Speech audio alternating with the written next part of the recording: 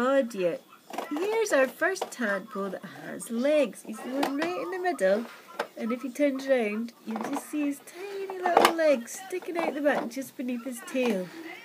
Did you see it? He's a big fat guy. He's one of the really big tadders. There you see his legs. Here he is, right in the middle of the screen. And his legs will get, obviously, much bigger and stick out more. To start with, we thought they were just poos. But actually, they are legs.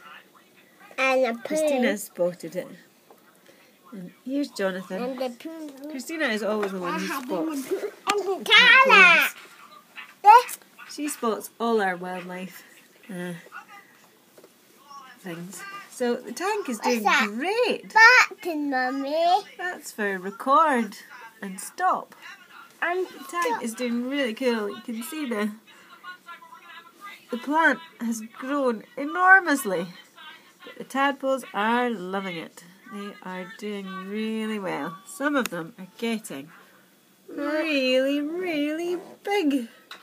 Some look at that tiny one. are tiny. Sorry about the camera shaking so badly. What's that button? That's to stop and start. Stop and start. Yeah. Let me start. you have